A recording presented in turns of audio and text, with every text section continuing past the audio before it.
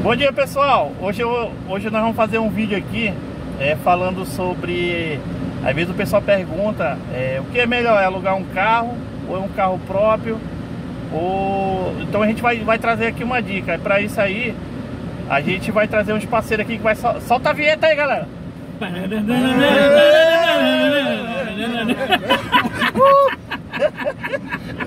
Tá vendo? Mais ou menos ensaiado. Ao vivo vamos lá, vamos lá, voltando a vinheta agora já. Põe na vinheta aí. Aí dá um tempo eu corto, né? então vamos lá. Vamos lá, pessoal. Vamos falar um pouco aqui sério aqui. Ó, eu vou trazer aqui o Roberli, é o Papai Urso, né? Conhecido como Papai Urso aqui. Ele, ele tem o carro dele é, é próprio, mas tá pagando, né? É, quanto é a parcela do teu carro?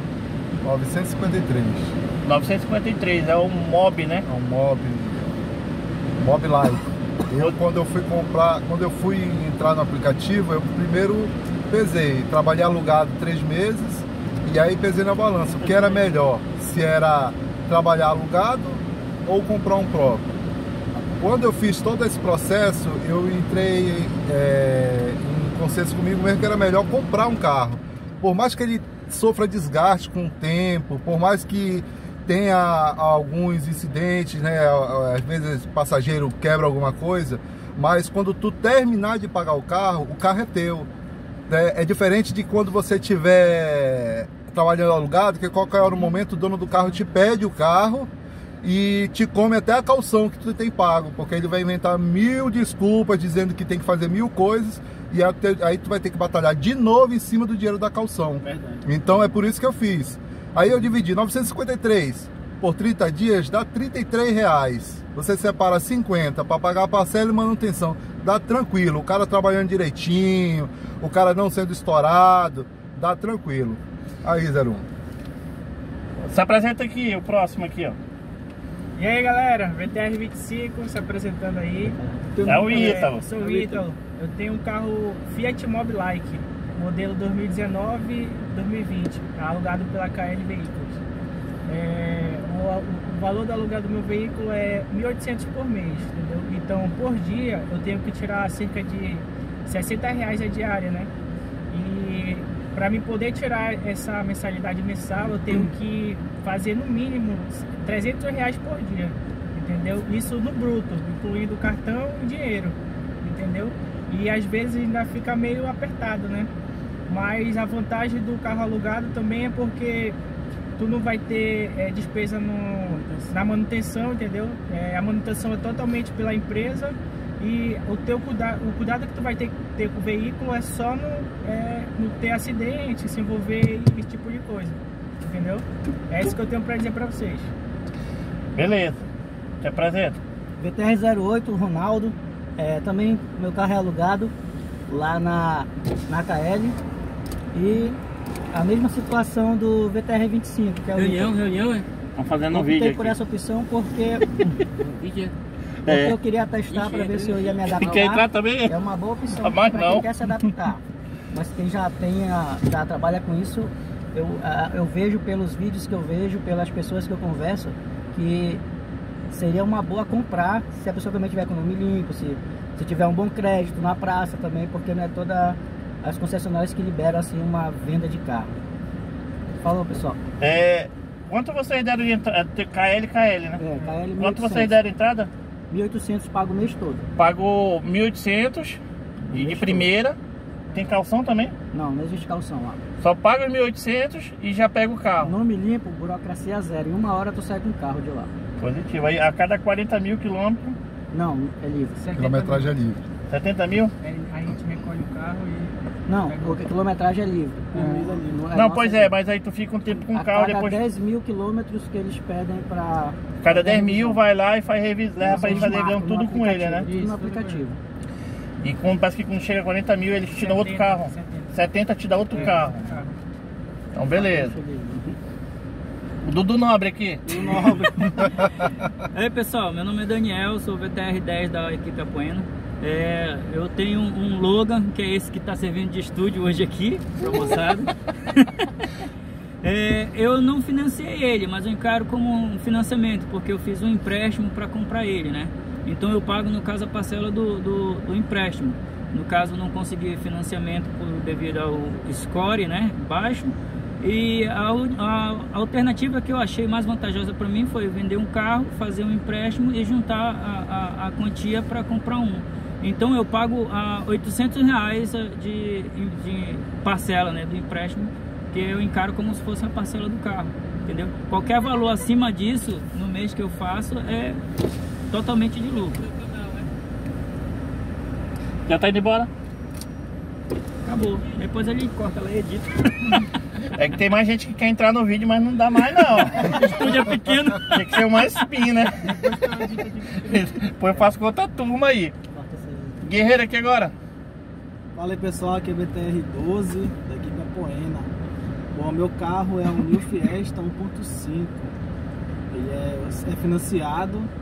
Aí pra mim, até agora vi vantagem, né? Porque o dinheiro que eu, eu poderia, no caso assim, que meus colegas aqui é, tá pagando, né? Eu pago, no caso, minha parcela é 780.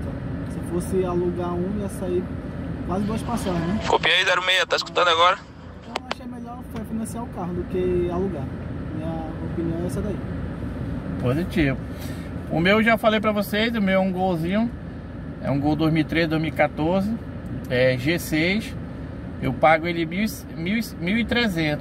É, esse carro eu financei, ele foi financiado para mim por dois anos. Eu comprei ele do meu cunhado.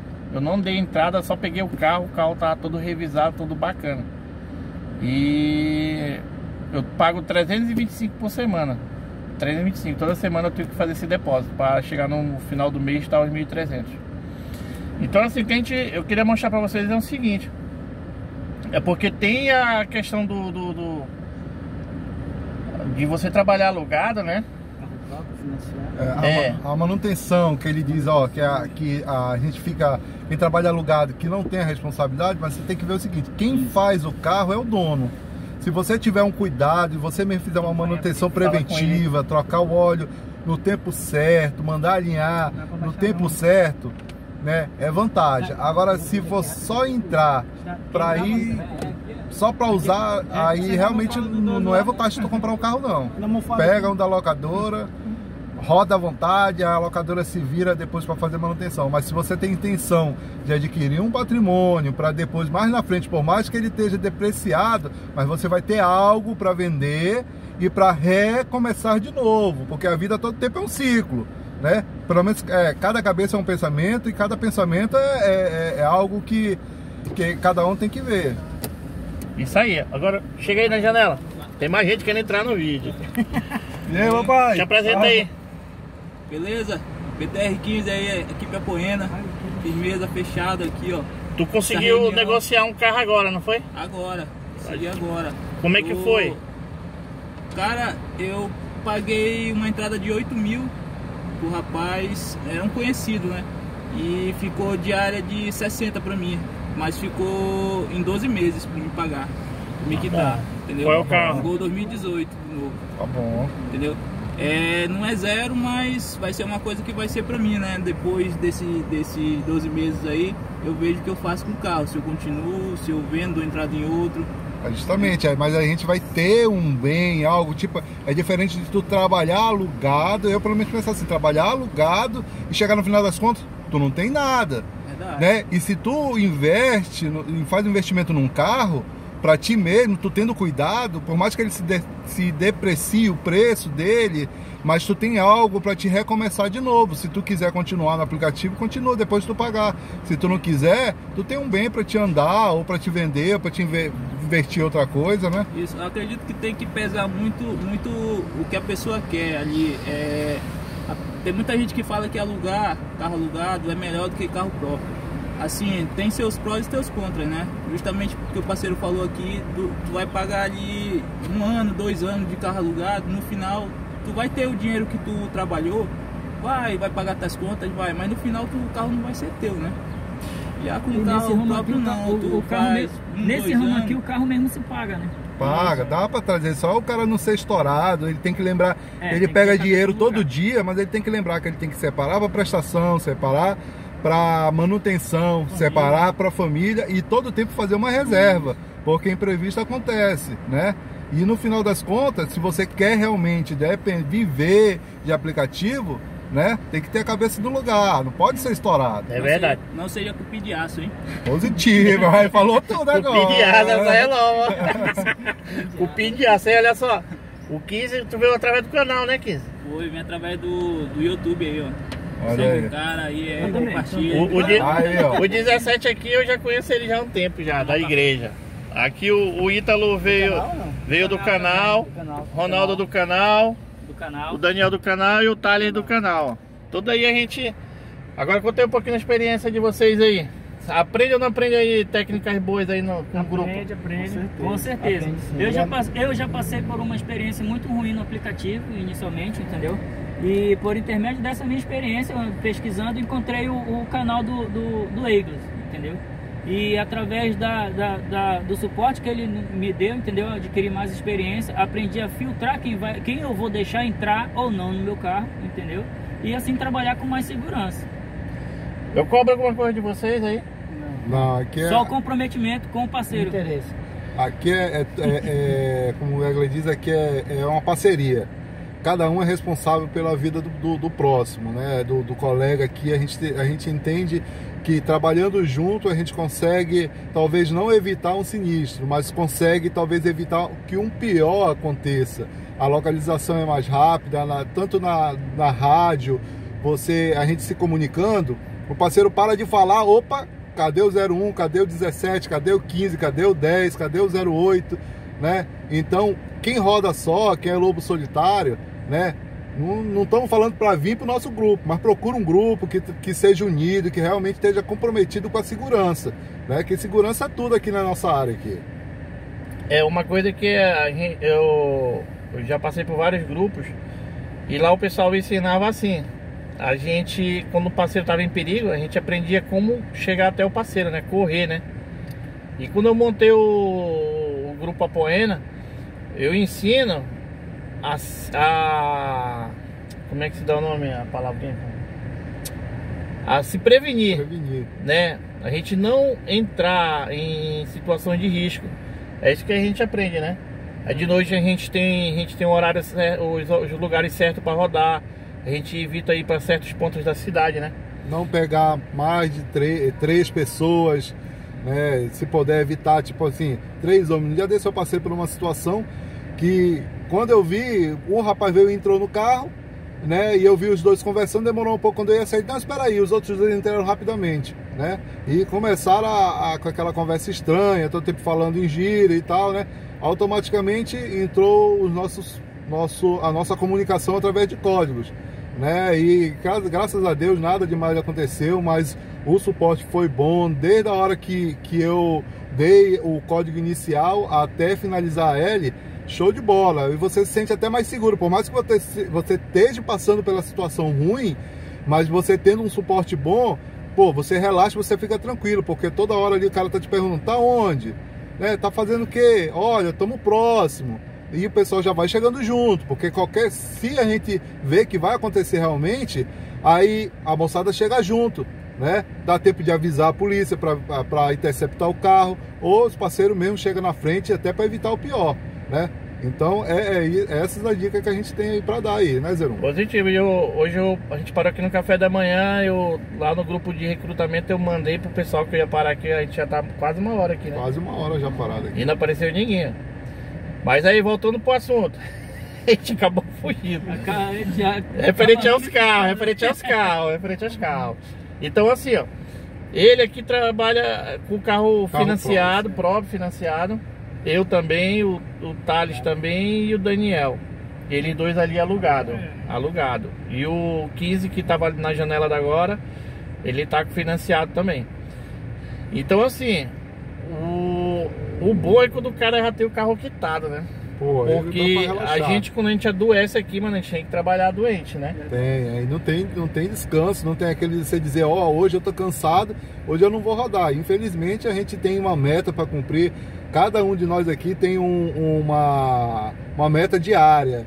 Uns estipulam um, um valor, outros outro valor maior. Uns trabalham, por exemplo, eu não, eu não gosto de trabalhar à noite, eu prefiro começar 4, 5 da manhã, mas quando dá 5 horas da tarde eu já fico doido para voltar para casa. Eu não gosto de rodar à noite. Além do perigo, né, e por causa do sono, né? Então eu vejo, tô cansado, paro para descansar, né? Nem é nada também de forçar o corpo. O nosso corpo, querendo ou não, ele é uma máquina. Tem uma hora que ela, a máquina ela trabalha, trabalha, trabalha, chega uma hora ela dá pane. Assim mesmo é o corpo né, do ser humano. Então a gente aguenta cansaço, aguenta cansaço, mas chega uma hora que você, o seu reflexo vai diminuindo, vai diminuindo quando você vê algo indesejado acontece, uma batida, ou você deixa até sua própria segurança passar, né? Passar despercebida e você pega uma pessoa que talvez seja suspeita e você está tão cansado, tão estressado do dia a dia, que aí você acaba deixando despercebido aquela pessoa vem e pode acontecer algo pior. O Thales aí, conta aí tua experiência nesse negócio de cansado aí. Eu achei que dava, né, pra mim, eu tava fazendo o viradão, né, que fala, de sábado pra domingo. Aí quando foi pela manhã eu achei que dava pra mim chegar até a casa da minha mãe, só que eu já tava com muito sono. Acabei dormindo no volante e sofri um acidente. Mas graças a Deus foi só dos materiais. É. Aí tem essa questão, né? Aí tu, tu tá com o financiamento do carro, do carro e mais o mais do, carro, carro que tu tem que pagar o carro do cara que tu Verdade. bateu, né? E, e o teu, né? Mas aí galera, deixa aí no comentário esse bichinho aqui, ó. Esse aqui, cadê? Esse aqui, parece ou não parece o Dudu Nobre? parece ou não parece o Dudu Nobre aqui, ó? Nada a ver. Deixa aí no comentário aí, ele acha que não. Aí o, o Ronaldo aqui, ele é, ele é novato aqui, tá, tá recente aqui no nosso grupo aqui, tá, começou agora. Mas é aquela coisa, eu vejo uma vantagem no carro alugado, é essa, tu não te preocupa com a manutenção. Deu algum probleminha, já manda o carro pra lá, né? E eles resolvem. Se é possível, eles deixam, eles pegam o teu carro e te dá outro já, né? O nosso financiado não, deu broco e a gente fica parado na oficina. É por isso que tem que ter a, a, a responsabilidade de você trabalhar direitinho. Você pega 300 reais no dia, você não vai gastar 300. Né? Você tem que saber que aqueles 300 não é seu. O que é seu é depois de você tirar a diária do carro, por mais que seja seu alugado, você estipula uma diária, tipo o meu, 33 reais por dia. E aí já estipulei o que? Mais 17 reais diário para manutenção do carro. Troca de óleo, troca de filtro, alinhamento, né? Tudo, você, tu, é, tudo isso você tem que ver. Né? O carro não é só você pegar também e usar, você tem que ter cuidado, é tua ferramenta de trabalho. Uma hora ele vai dar pane, vai, e você tem que estar preparado, porque se você passar dois, três dias parado, mano, é, é, é, é melhor você ir pra roça. Aí tem, tem, a- tem uma. Tem uma vertente assim que também é. A quantidade, assim, quantas pessoas tem na tua casa que é tua responsabilidade, quantos que é Justamente. dele. Ele. Pode ser, eh, pode ser que assim, tu é casado, tu tem filha? Tem filho. Um filho, né? Também. Mas eh, tu tem tua Quatro. quatro. Não, não sou casado e eu tenho filho. Olha aqui, é uma vantagem boa aqui, ó. Só despesa aqui, só, ele e o carro. Só ele e o carro.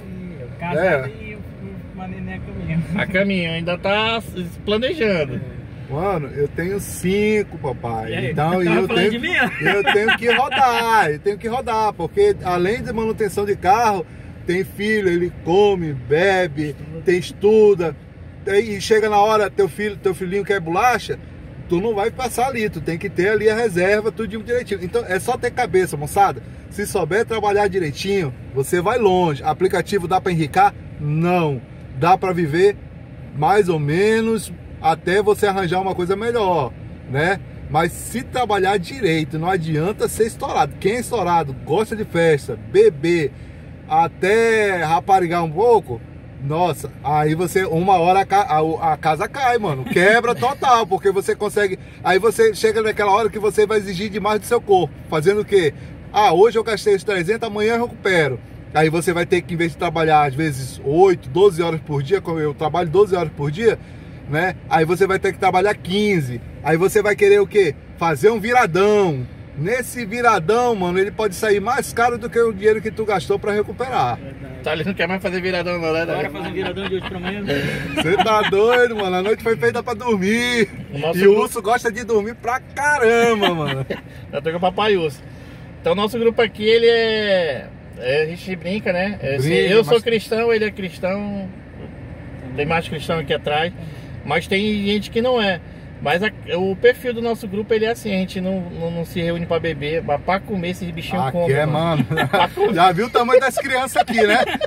Tanto é que queria entrar mais gente, rapaz, não dá não. Eu já tava lá atrás do espalhador. Não vai lá pra frente que tu é grandão. Toda hora É? tia, a, gente, toma café aqui, ó. Não sei se dá pra ver aí, ó. A gente toma café aqui, é pequenininho, mano, mas isso aqui fica cheio, mano. Então aí vem o pessoal de outras equipes aí se, se reúne aí com a gente aí.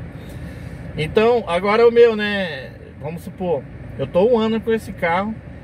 É, é aquilo que o, o Roberto tava falando aqui. Se planejar, se tu não tirar o da manutenção, o, o- o do carro, o de das tuas contas, das tuas contas é, fixas lá da tua casa, tu te enrola um pouco. Mas às vezes são coisas que não tem como controlar. É o meu caso. Aconteceu uma série de coisas. E eu tô pensando em fazer manutenção nesse carro. Eu vou gastar mais ou menos uns mil reais aí com suspensão. Suspensão, umas coisinhas aí. E eu tô deixando aí porque não deu não. Agora eu vou arrebentar agora em dezembro, agora nesse dezembro, né? No Natal e no Ano Novo. Se Deus Que é quiser. pra levantar essa grana aí. Mas eu já sei que o que eu fizer vai ser por carro. Então, olha aí, eu tô com um carro próprio, mas eu tenho essa preocupação.